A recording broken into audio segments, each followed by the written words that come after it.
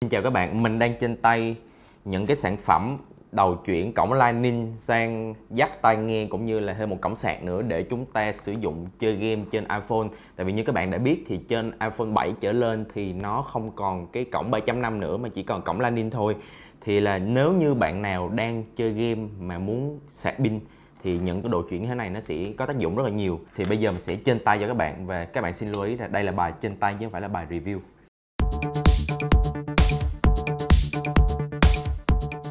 Đầu tiên là hai cái đồ chuyển thì mình không biết tên hãng của hai cái này. Nó mua khá là rẻ, ví dụ có mấy chục nghìn thôi. Mình thấy trên facebook bán rất là nhiều cái sản phẩm như thế này.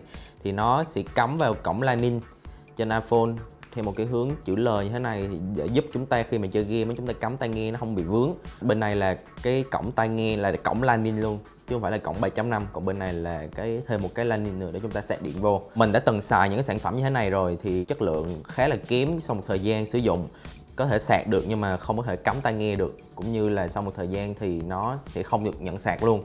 Thì mình khuyến khích các bạn không nên sử dụng những cái thứ như thế này tiếp tục ở đây mình có một đồ chuyển của Besos thì cái này nó xịn hơn chút xíu.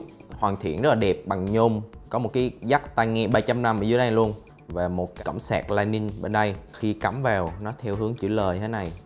Cái sợi dây khá là dài nhưng mà tuy nhiên thì trong quá trình sử dụng á, nếu mà các bạn vừa cắm tai nghe vừa cắm cổng Lightning thì nó cũng không là vấn đề lắm. Chơi game thế này thôi. À, tuy nhiên một cái điểm mà mình không thích ở cái này đó chính là cái cổng tai nghe này cũng chỉ để nghe âm thanh thôi chúng ta không thể đàm thoại được. Ví dụ như bạn nào đang chơi những tựa game như PUBG các bạn cần nói chuyện với những người chơi khác trong game thì cái này nó không có tác dụng, chỉ để nghe thôi.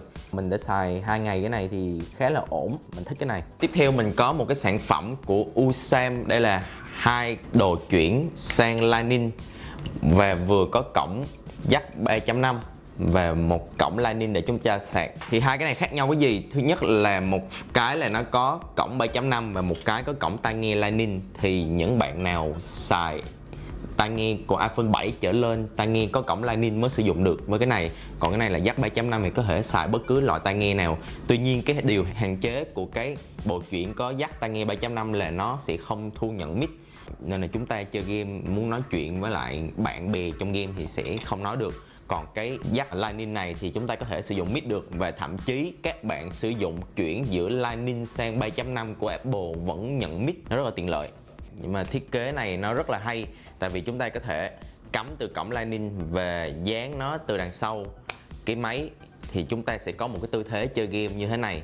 Nó khá là tiện lợi mà không phải vướng víu gì cả, tại vì cái đầu tiếp xúc giữa cái cục này và cái cổng Lightning nó có thể uống được một cái điểm hay nữa là khi các bạn cắm nó vào iPhone và dán nó từ đằng sau thì nó sẽ thêm một cái phần khuyên như thế này. Cái vòng tròn này để mà khi chúng ta chơi game chúng ta sẽ móc vào như này thì nó tự tin hơn, để có thể chơi game một cách thoải mái nhất. Khi mà bạn không cầm tay nữa, các bạn có thể để lên bàn, dựng lên bàn. Tại vì cái phần nó sẽ đỡ thì chúng ta có thể xem phim, có thể chơi game gì đó mà để tay theo thụ động. Đó, vừa nghe được âm thanh trong game vừa có thể nói chuyện được cũng như vừa có thể sạc pin được cho iPhone. Đó là một cái điểm lợi. Kết luận giữa các cái sản phẩm đồ chuyển từ tai nghe và cái cổng sạc thì mình đã lưu ý lúc nãy là không nên mua những sản phẩm như thế này vì chất lượng rất là kém như giá rẻ. Thì đối với lại cái Besus thì thiết kế nó vẫn khá là hay.